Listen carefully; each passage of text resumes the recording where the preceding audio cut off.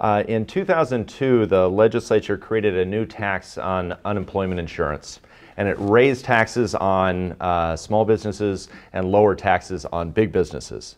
And significantly, that bill did not have an emergency clause on it. And so citizens filed an initiative, uh, a referendum, referendum 53, got enough signatures, the voters vetoed the tax, and the Supreme Court ruled unanimously that uh, uh, that, that repeal was okay. And it was really a perfect example of the referendum power in action, the power uh, that the people had. The people exercised their rights and they won. But what ended up happening is the legislature didn't like the outcome of that, not one bit. So they set out to essentially repeal that referendum power. And frankly, they've succeeded. R53 in 2002 was the last referendum on taxes. Since then, for 15 years, the legislature has raised numerous taxes, and not once was there ever a referendum like R53 to give the voters the chance to vote on it. And how did the legislature do that? R53 taught them a lesson. Slap an emergency clause on a tax bill, and you'll make it referendum proof, blocking any and all repeats of R53. So when the legislature raised taxes in 2003, the bill included an emergency clause. When they raised the gas tax and imposed a new estate tax in 2005, they slapped an emergency clause on the bill and precluded the people from doing a referendum. Even though the voters had a constitutional right to referendum, the legislature had found a way to take it away. And that, Your Honor, is a tragedy, a real gross injustice. So in 2007, when I drafted Initiative 960, I included a new policy called a tax advisory vote that responded to the legislature's essential repeal of referendums. An advisory vote doesn't allow the public to, vo- to veto a tax increase the way a referendum does, but an advisory vote at least puts each blocked tax increase on the ballot for the voters to vote on. When drafting that section on advisory votes, I had in mind R53 and the tax bills in 2003 and 2005. And I was very specific. When the legislature raises taxes and blocks the people from voting on it, the voters get an advisory vote. And if the bill contains multiple revenue sources, there must be a separate vote on each one. In the intent section, I made it clear that voters wanted the chance to vote on each tax increase individually. And if a tax bill raises taxes on some people and lowers them on other people, like R53 did, the people get to vote on the tax increase portion of the bill. Now, this law that voters approved was written by me so it could be understood by regular voters. When considering legislative intent for a ballot initiative, you consider how the legislation was understood by an average voter the Attorney General is construing the language as a lawyer would interpreting a legislative bill. How would a layperson oh. define revenue source? Uh, I mean, that really comes, that's the gist of this case, it seems. That yes. revenue source is the determining term for how many advisory votes are required. It's not defined in the initiative. Mm-hmm. Um, a revenue source, one might imagine, could be as broad as what the Attorney General's office has articulated, one of the different titles within the RCW. Um, a revenue source could be an individual taxpayer. I am a source of taxes to the state, and we don't want a different advisory vote for each mm -hmm. person paying the taxes. Um, isn't that inherently ambiguous? I mean, there's some things we can look to, but if you just look at those two words, revenue source, is that an ambiguous term in context here? Well, I think you need to look at it as a difference between if this was a legislative bill passed by legislators, you might be able to argue, well, of course, a proper interpretation, legislators must have had it in their heads, Title 82 and Title 83 versus Title 84. But this is an average voter determining whether or not they wanted to uh, understand this bill. And it was a citizen initiative. It was written by a regular voter and it was passed by regular voters three times. And I would ask, who would you believe when it comes to what it says and what was intended? The person who wrote it and voted for it and supported it, or the Attorney General who didn't write it? Your Honor, I would ask you to pretend that it's 2007 and you're a regular, normal person. I actually want to come back to that. Okay, go ahead. It's interesting to me. Mm-hmm you wrote this, mm-hmm. you're arguing there's a certain amount of intuitive appeal that you should have some deference given to you about what this means, but is there any authority out there in the case law or elsewhere that indicates that the person who authored an initiative is given some deference in his or her construction of the initiative? Uh, no, I'm not implying that at all. I'm saying I'm one of the people that voted for it, but the people who actually voted for the initiative were not the Attorney General. They are not people, and I would think that this is, is somewhat intuitive, would not know Title 82 from Title 83 or 84. These are regular voters that are looking at the language of the initiative, and I'm asking you to kind of visualize yourself in, in 2007 reading Initiative 960, and when you came to the section on advisory votes, you read that when the legislature raises taxes and they block it from a referendum with an emergency clause, there's going to be a tax advisory vote, and if there's more than one revenue source in it, you get to vote on each one. Now, I'm just asking you to apply that same logic, that same understanding of that law to this bill that was passed by this legislative session. The question is Would the average voter agree that this bill contains three tax increases deserving three votes? Or would the average voter agree with the Attorney General that all three tax increases are the same because they're all uh, excise taxes and they're all in Title 82? I'm just asking the court to read these statutes through the eyes of an average, regular, normal voter and allow the voters to vote on each tax increase in the bill.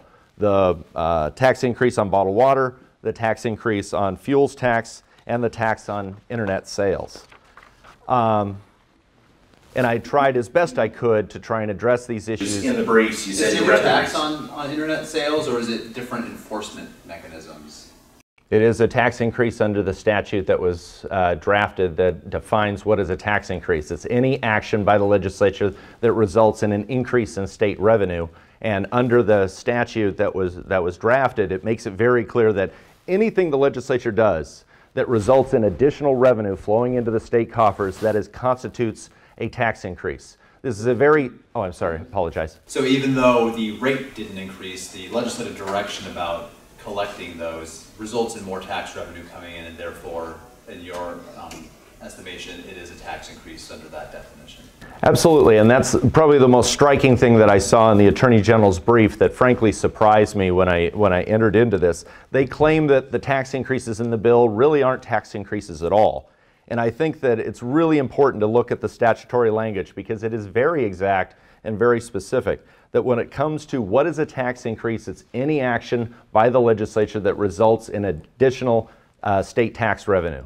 They've already acknowledged, or I should say, they've already calculated this thing's going to cost and, and bring in $565 million over the next 10 years. If not for the action of this bill, that money would be in taxpayers' pockets. It wouldn't be in the government's coffers. So, by the very definition of the law, as long as they calculate that it brings in additional revenue, it is by definition a tax increase. This is a strict definition that I know a lot of legislators didn't really care for, and the stakes for what is a tax increase used to be much higher. In the uh, earlier days, it was a difference between whether it required a two thirds vote of the legislature to pass or a simple majority to pass. The stakes were dramatically higher. The stakes here are very uh, minor in comparison. If it's a tax increase, we all get a chance to at least express an opinion on it at the ballot box. It's not a huge burden on the government for them to be able to do this, where when the two thirds requirement was, was, in place, and the lieutenant governor, as I tried to outline in my uh, strict reply, he was making a determination and construing the law knowing that it was the difference between it requiring a two thirds requirement and a simple majority. And all I'm uh, looking at and, and, and evaluating and asking of this court is that requiring the Attorney General to follow the law as written is not costly, it's not burdensome, and it's not inconvenient to the government. Uh, what they've essentially done is they've repealed the right to referendum. It's completely gone. And I'm just saying, can't the system allow the people this modest response? this, this tiny victory, the chance to express an opinion at the ballot box on each tax increase, the opportunity to learn which tax increases were increased and how much those tax increases are going to cost. And can't we just get a law that we passed three times implemented the way an average voter would assume that it would be uh, interpreted? These tax advisory votes haven't been around a long time.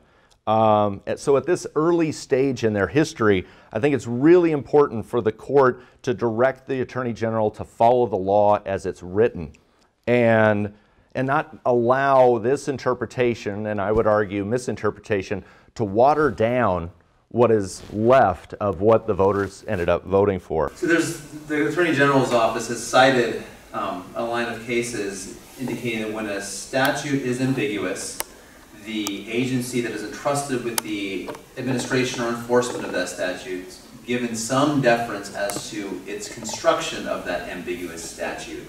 Um, do you disagree with that assertion in this context? I understand that when it comes to interpreting laws, um, lawyers make it more complicated sometimes than it really is. I don't argue that these, this is ambiguous in any way, shape, or form to that average voter. They understood exactly what they were voting for. I would say that it is not ambiguous that a tax increase, which is defined as any action by the legislature that results in additional revenue, I don't know how you can find that ambiguous. If more money is brought in as a result of a governmental action, in this case, passing a law that includes additional requirements for the government to be able to collect more money, if they're taking money that otherwise would be in the taxpayers' pockets and giving it to the government, under the strict definition of what is a tax increase under this law is not ambiguous. And the idea of a revenue source being ambiguous I would argue that that is not ambiguous at all. The legislature differentiated in the bill three individual tax increases. The fiscal note differentiated three individual tax increases in the bill. And, the, and as I point out in one of my briefs, the, the governor himself had the opportunity to line item veto any one of these individual tax increases. He looked at each individual one and accepted each one, but he could have rejected some of them as well.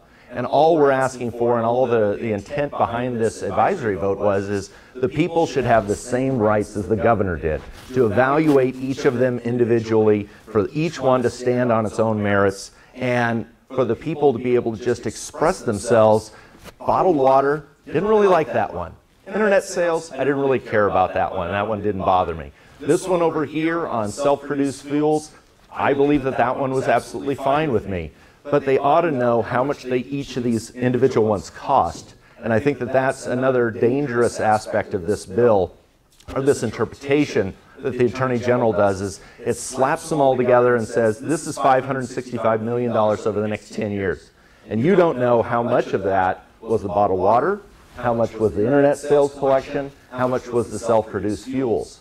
And one of the big intents of the measure uh, put in op-eds throughout the campaign, et cetera, was this idea it's a tax increase report card.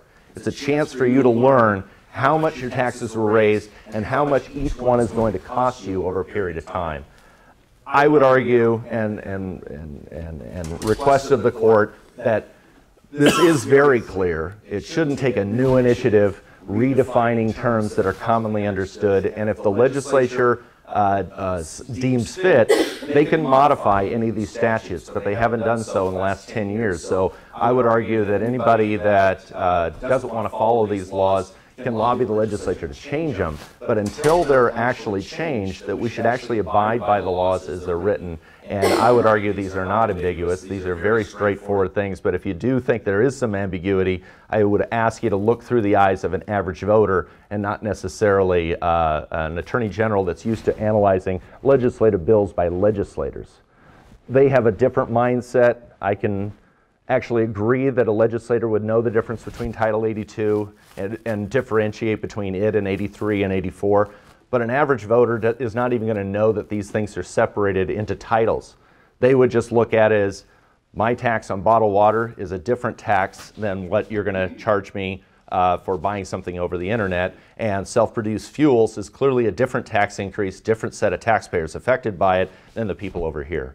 Uh, I would just close with this, is that these really do have an impact on uh, candidate campaigns, which I think is, is significant, is that the Secretary of State breaks down by legislative district how the votes are on these advisory votes. So you are able to tell what level of support is in each district for the bottled water tax for various individual taxes that are in the bill. And that differentiation, I think, provides a dramatically more uh, nuanced understanding of the voters in each district so that legislators, when they see these votes and see these results, will say, I'm going to calibrate maybe in the future how I treat these tax issues in the future if they know how voters feel about each individual tax. If it's all clumped together, the only thing you're going to know is there's maybe a vague general opposition to this undefined clump of taxes, where if they're individualized, I think that you get a much broader, much better view.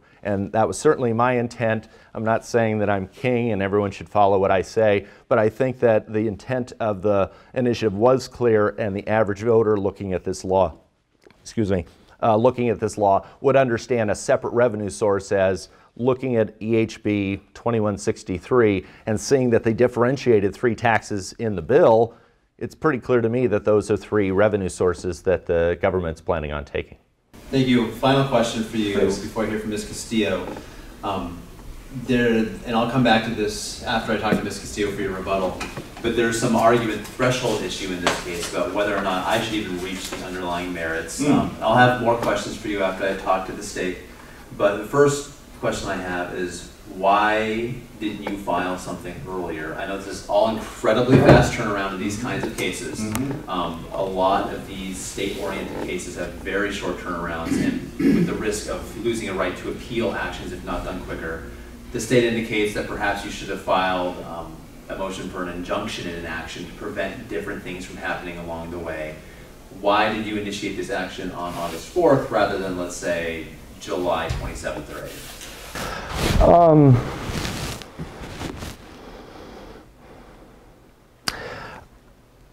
I asked the Attorney General specifically, please notify me as soon as the short descriptions come out. As soon as those short descriptions came out, I immediately, within an hour, told them, this doesn't seem right. This is three tax increases. You really ought to do it this other way. And, and they said, we respectfully disagree. They were very respectful about it. We respectfully disagree, but that's not how we interpret the law. At that point, I was struck with, okay, this isn't right. This is, this is an injustice. You know, let me see if I can find a lawyer that's willing to take on the case and do it without getting paid. It's kind of hard. And at the end of it, after that process of, of attempting all those things, I said to myself, I'm not a lawyer, but I just think this is wrong what they're doing, and I'm going to do it myself not never done one before. It took me a little bit of time to figure out actually how to file the paperwork. And, and I would argue, again, I'm not challenging the short description that they wrote. I'm challenging the construction of a statute that was what that is the law and the way they're reading this law and construing it and evaluating it is what I'm challenging. So was, it, was the Oh, action sorry. the Attorney General's office sending the letter to the Secretary of State, or was the action the Secretary of State subsequently assigning only one number to this engrossed bill? Uh, when they specific, when they specifically sent the letter, they said there's these three bills that we've identified have tax increases in them, and there was no indication at that point that there was only going to be one vote on it. I thought that it was possible that they were going to have multiple votes. Once, once they actually did the short descriptions, I was able to learn that the short description that they wrote gave no indication of the, uh, uh, I apologize, uh, of how they were going to articulate it. And it was when I received that that, that I felt the need to write that second declaration, which, differ, which, which highlighted a fact that because of their misconstruing the bill, for the first time, we're going to have an advisory vote where we're not even going to know who's actually going to end up paying the taxes.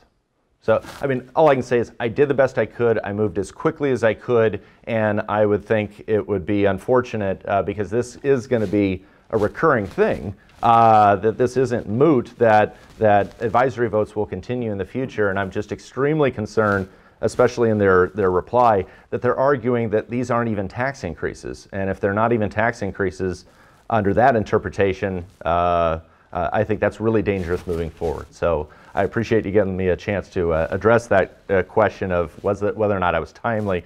I moved as quick as I could, and I would think it would be really unfortunate that they would somehow um, avoid judicial review because I didn't do it in two days, I did it in five days. Thank you, Mr. Eyman. Thank you very much. Ms. Castillo.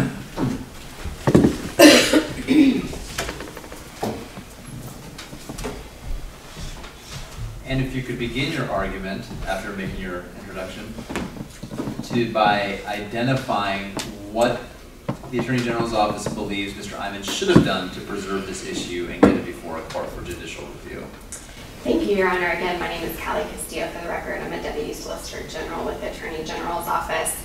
Mr. Eyman cannot receive the relief he is seeking today. The issue is, is that the advisory vote designation for number 17, which is for EHB 2163, became final on the day that the Attorney General established this short description. Mr. Eyman did not appeal that within the time period before it became final, and therefore this case is moot. Mr. Eyman's action conflates his arguments about the construction of the advisory vote statutes with the relief he's seeking. And the relief he is seeking is to undo advisory vote number 17. However, by statute, that is not appealable, and therefore this matter cannot proceed. And are there really two separate issues here, though? There's a short description, but there was an initial action that said there's only going to be this number of items on the ballot. I mean, couldn't he be arguably appealing the designation of the number of advisory votes rather than the short description language itself? Yes, and that's exactly what he should have done. There is a very short time period that the statutes give in which there is the statute, the Attorney General by August 1st must designate which statutes are going to be designated for advisory votes. There are five days for the Secretary of State to then issue the relevant numbers, and then an additional five days for the Attorney General to then come forward with a short description. So at what point in that process was he supposed to do what? At any point in time after July 27th, when the Attorney General issued its notice to the Secretary of State that it was going to be doing three advisory votes for this year. So you agree that that letter on July 27th from the AG's office is the one that set the number at three? Yes, Okay. absolutely.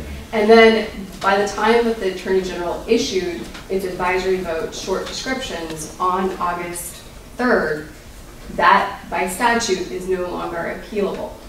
And, you know, Mr. Eyman says that, you know, he is the author of this and therefore he knows the statute. Well, he also put in the initiative, Initiative 960, that the short descriptions are not appealable. So Mr. Eyman is mixing up what he can do here.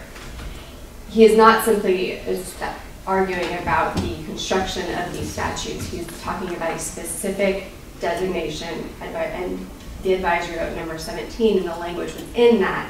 So he missed this by a day then? Is that the argument? No, he actually missed it between that window between July 27th and August 2nd. August 2nd? Yes, because August 3rd is when the advisory vote number 17, as well as the other two advisory votes, short description language, became final. And so, in hearing the reason why he waited, on the 27th, he received notification in essence that it wasn't the same number of advisory votes he thought there should be. He scrambles to find someone. What should have been at the most, possibly up to 10 days, was truncated because the Secretary of State's office moved so rapidly. Yes. It was the same day. So, and then it was less than five days, if you don't count the day the initial action was taken, before the short, um, the, the language was finalized. And so, whereas he, as of the 27th, he may have thought he could have had 10 days, he ended up having far fewer than 10 days. Yes, and that is the nature of these statutes. These, um, So, is it possible that this all could have happened in a single day and he would have been shut out?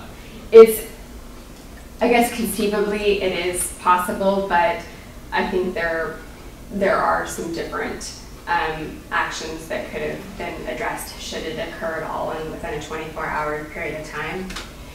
But the point is, is that this is moot. The, he had plenty of time between the Au- July 27th and the August 2nd to take some sort of emergency action to have the Attorney General redesignate the statutes. And so, and so that's the timing issue. Um, there's also an argument that this isn't a proper action under the Uniform Declaratory Judgment Act. Um, what, if this isn't a declaratory judgment action, what type of action, should this have been a mandamus action, something different? I think it should have been a mandamus action, but it should also, within that five um, period of time, it's the problem is, is the relief that Mr. Eyman is seeking.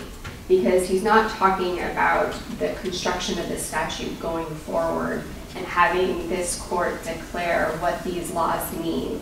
Instead, what he's seeking to do is he's seeking to undo the Attorney General's application of those statutes to advisory vote number 17. So if And done this as a mandamus action, would that have satisfied that issue, understanding there's still a timing issue? It could conceivably, I'd like, I mean, obviously, being an attorney, I'd like to go through all of the different pieces, but I could conceive that. I could also see a, a TRO, as we suggested in our briefing. There are a number of different ways that this could have proceeded, and unfortunately, he just erred in its procedure of doing this. And so also, I mean, if this had been a mandamus action, he would have been, the caption of this action would have been the same. He would have been suing um, Robert Ferguson as Attorney General. It's really just the verbiage that would have been different, and he is a pro se. And so there is some leeway. I recognize there's other issues here, but I want to make sure I hone in on each issue. Couldn't the court conceive of this as a mandamus action in essence, given that this is a pro se litigant? Yes, Your Honor, the, the court could and, you know, should give pro se's. They're, they're to follow the law, but there should also be some leeway in it. But even then, Mr. Eyman cannot get around the fact that the relief that he's seeking is to undo advisory vote number 17. And by statute, that is not appealable. And therefore, that, anything having to do with engrossed House Bill 2163 and the designation of advisory vote number 17 is moot because that designation is not appealable. But even turning to the merits, the Attorney General's construction of the advisory vote statutes to this particular House bill is reasonable. You agree it's ambiguous, right? And there's no claim by the Attorney General's office that this is unambiguous language. Absolutely, it is absolutely ambiguous. And that highlights the absurdity of the various different constructions of that term. Because under Mr. Eyman's interpretation of revenue source, anything that increases taxes on any individual within the state could conceivably be designated for an advisory vote. Taking that to the absolute absurdity, it could mean even if the legislature decides that they're going to pay for additional auditors within the Department of Revenue, such that collection of particular taxes may increase, that would, under Mr. Eyman's definition, be designated for an advisory vote. But that is not what the people meant. The Attorney General's office has construed the advisory votes and revenue source to match not only what it is in law as to what type of taxes there are, excise, property, um, or estate taxes, but is also in line with what the people intended with Initiative 960. And if you look to the people's intent statement of Initiative 960 and then compare it to the exhibits that we attached, to specifically um, Exhibit A, if you want to pull it up, you can see with me that it meets each and every one of those intents. First of all, it matches the legislative action taken based on the type of tax, excise tax. But there's a recognition that if a single action had hit upon multiple types, that would still need to be split upon into two different advisory votes. Yes, and that's, a- because that's a reasonable construction in line of, of recognizing that should the legislature ever in one action both raise property taxes and raise an excise tax, that that would need to be split apart. But it doesn't make sense to split apart within the single legislative action all types of excise tax. And if you look at example um, A, Exhibit A, designation for advisory vote number eight, that will show why that makes sense. There, the legislature simply eliminated tax preferences for the marijuana industry. That necessarily impacted the B&O tax, excise tax, I mean, I'm sorry, the retail sales tax, the litter tax, and others. It does not make sense that within one legislative bill, for then you to have four different advisory votes because they all impact those various kinds of taxes. The Attorney General's reading of revenue source makes sense within both the law as well as what the people want because it also shows the people exactly what the legislature voted on. It is that designation. And if you compare it to Exhibit D, which is the final votes cast by the legislature, the people see exactly what each individual legislator voted on that particular bill and whether they voted yay or nay on it. It would not make sense to then triple or quadruple each and every one of these statements by, by advisory vote because it would be duplicative. So the people see what the legislature voted on, and the legislators get to see what the people then say about their particular votes. Let me rewind this for a second, but realize I forgot a question. I understand that the relief that Mr. Eyman is seeking is arguably unavailable given the finality of the, the language. Is it logistically and literally available such that the Secretary of State, if I were to rule that Mr. Eyman is correct, could implement an order requiring three advisory votes? Yes, the uh, the voters pamphlets go into effect on September 1st. And so we have um, contacted the Secretary of State's office. If that were to be undone, it is physically possible to change everything. Thank you. We can continue. Thank you.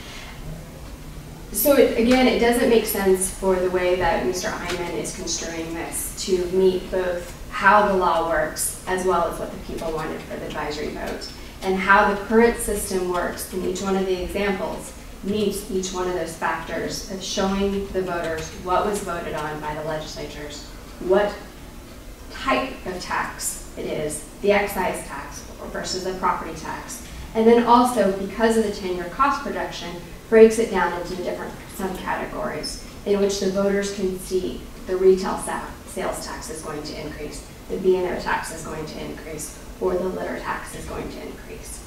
All of the pieces are available within the Attorney General's construction of these statutes to give the voters what they asked for in Initiative 960. But even setting all of that construction aside, Mr. Eyman is simply incorrect about what he is saying in engrossed House Bill 2163 does.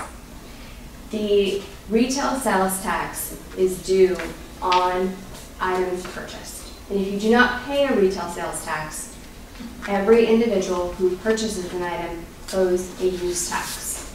So even though the law before engrossed House Bill 2163 um, those taxes were still owed on internet sales. But what engrossed House Bill 2163 did is it then put on the retailers a mandatory duty to either collect that tax or give the purchasers, the, the buyers, notice that that tax is due and therefore they're paying it. It is simply increasing the enforcement mechanism for the state to collect on these taxes.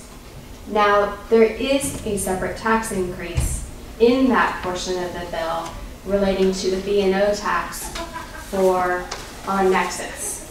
What the, what the legislature did is it expanded the definition of Nexus. In other words, who has connection to this state and having some sort of seller activity or, or other activity such that the law can reach out and mandate that they pay the business and occupation tax.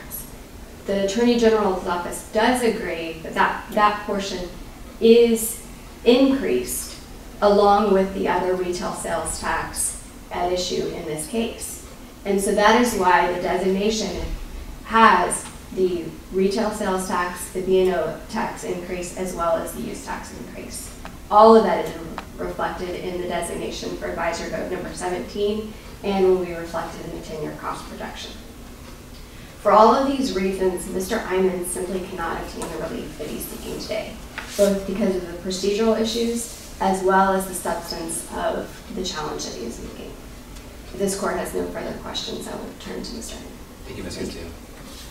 Mr. Eyman, your case, you get the final word.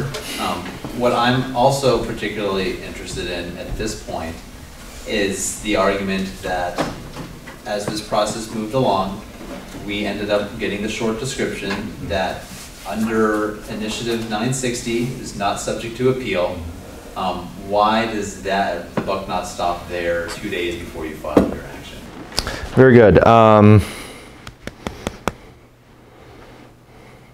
I'm ADHD, probably pretty heavy on the H, so there's like 15 things I want to say simultaneously, so I'll, I'll have to prioritize here. Um, I think the biggest thing I would emphasize is uh, for five years of advisory votes, the Attorney General's office followed the law. They did it as it was intended. Uh, there's nothing wrong with if there's multiple taxes on marijuana the, to put those together. That's totally consistent, totally fine.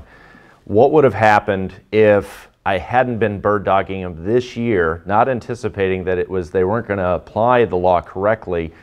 This stuff isn't published in the newspapers. The fact that they just notified the Secretary of State. I happen to be bird dogging them because I like to stay abreast of what they're doing.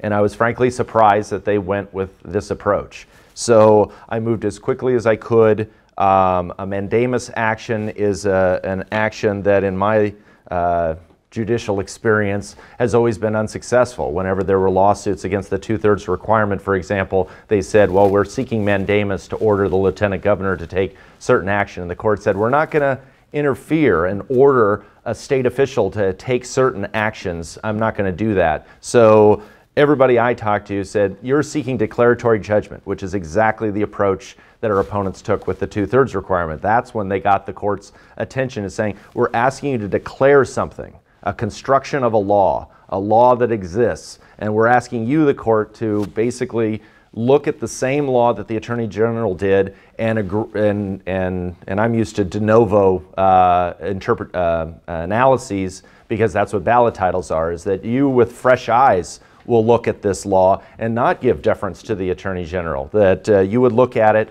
and, and see whether or not, in your judgment, this makes sense.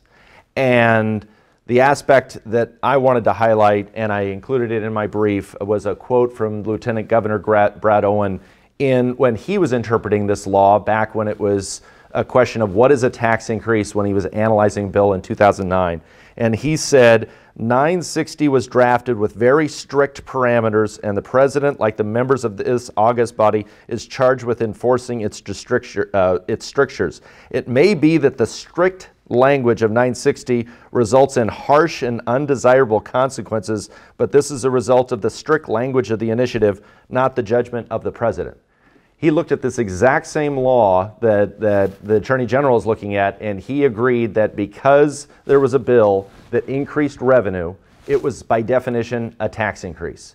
Probably wasn't the definition he would have written, probably wouldn't be the definition that the legislature would draft, but it is the law that was written and that the voters voted for. And in that law, it says there will be an advisory vote if there is a tax increase as defined by RCW 43-135-034. And that specific definition says any action by the legislature that results in additional state tax revenue is by definition a tax increase.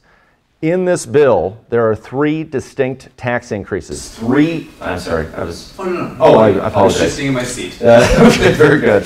Uh, Nerve wracking experience. Uh, I may never do this again, but it's uh, interesting.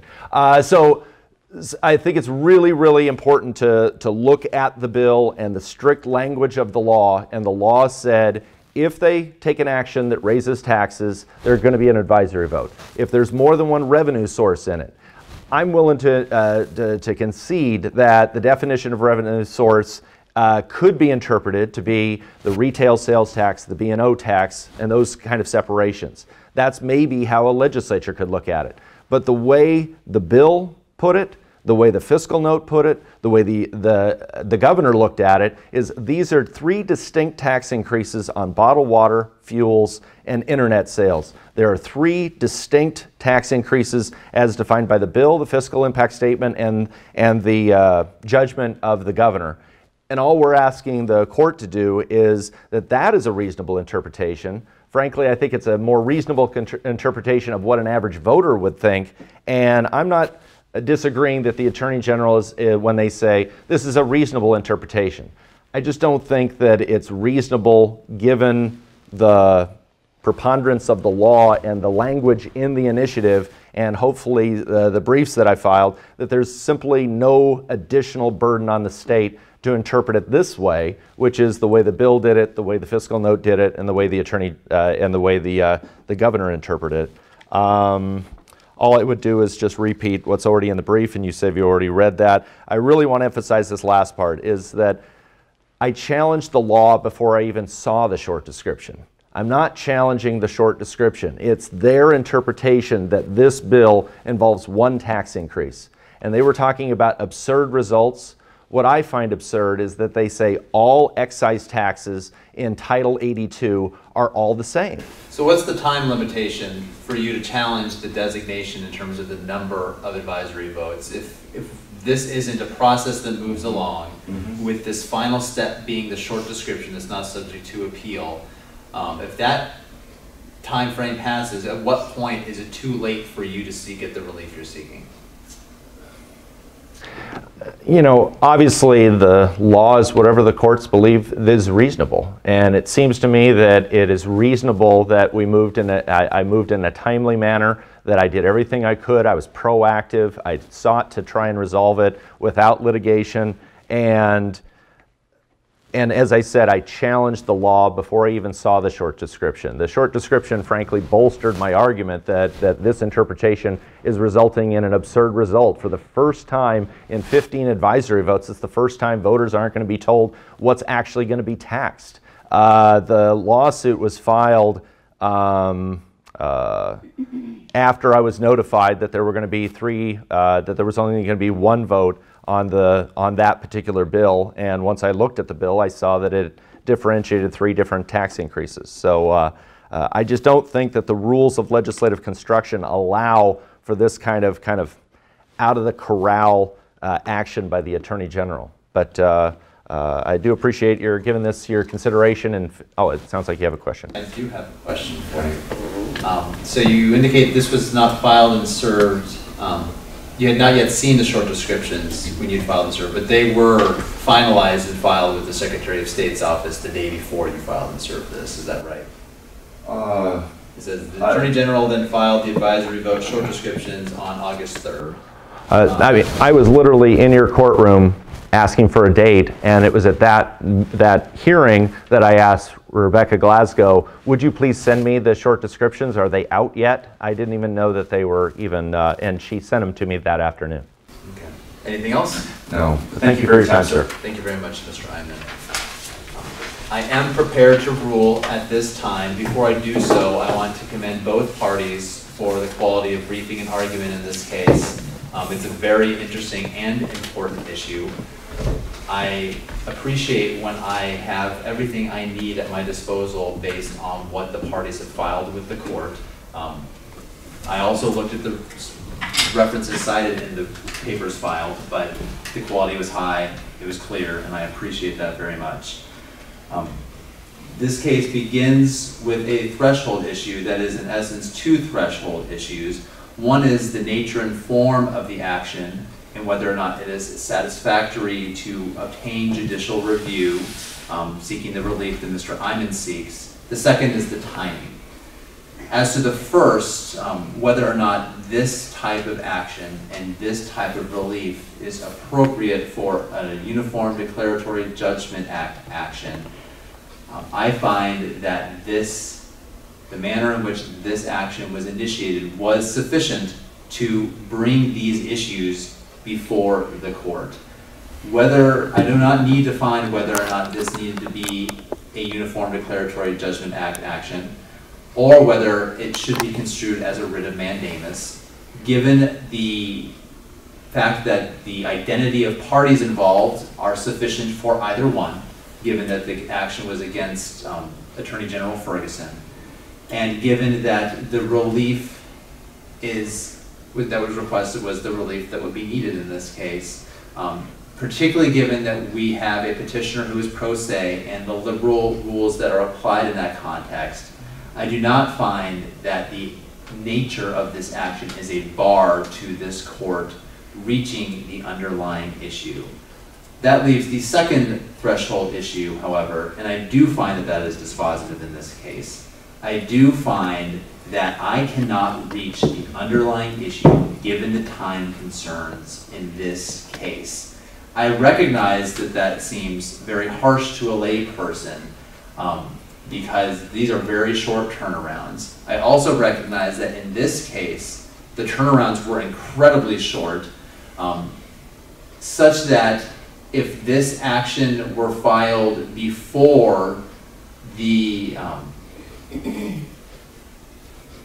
even a day earlier, I would have considered it because that would have been five days following when the ball started rolling, so to speak, on the 27th. Um, the hypothetical I gave to Ms. Castillo is regarding whether or not this all happened in a single day, um, if this would be a bar to Mr.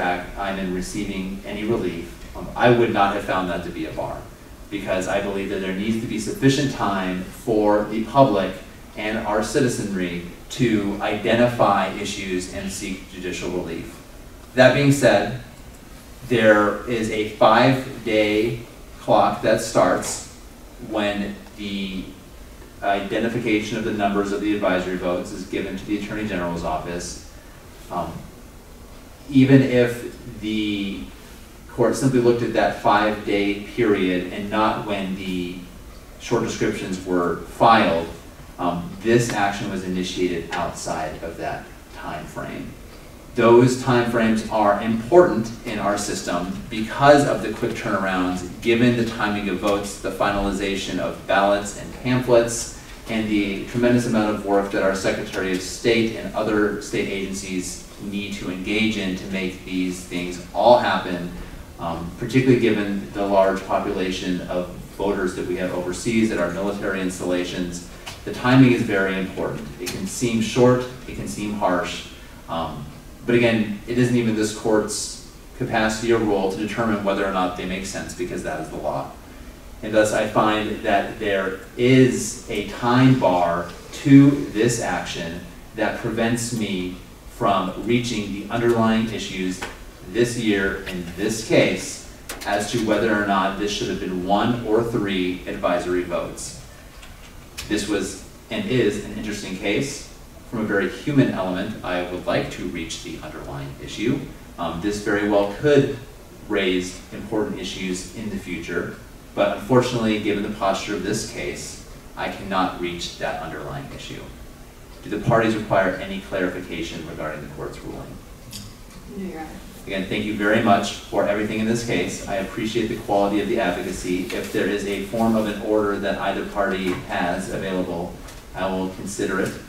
Um, And you may confer regarding that form if necessary. And I will remain on the bench until that happens.